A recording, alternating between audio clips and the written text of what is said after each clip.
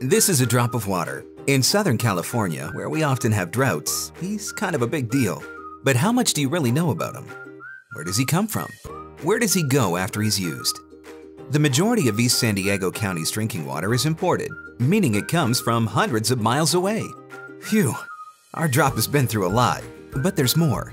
After we use this water, it becomes wastewater. So where does it go? Right now, most of East County's wastewater travels 20 miles to the coast, where it's treated and released into the ocean. That's a valuable resource that we're letting escape. Talk about waste. But we can reuse this water. To keep this precious resource in East County, we've created the Advanced Water Purification Program.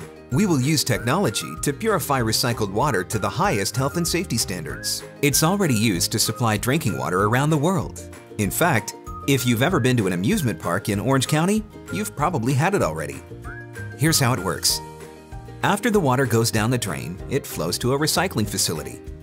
Some of this recycled water fills Santee lakes and waters landscapes at local parks.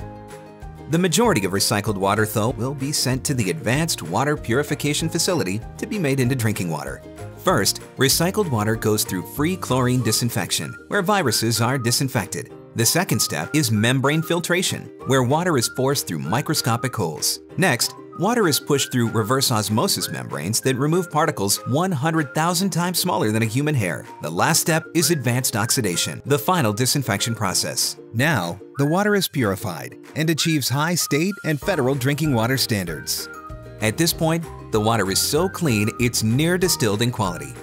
Now it will be pumped into a groundwater basin or lake, then treated one more time before being delivered as safe, clean drinking water. The Advanced Water Purification Program has the potential to create up to 30% of East County's drinking water. This project helps our rivers, oceans, wildlife, and saves energy. It creates a safe, reliable, locally controlled source of water.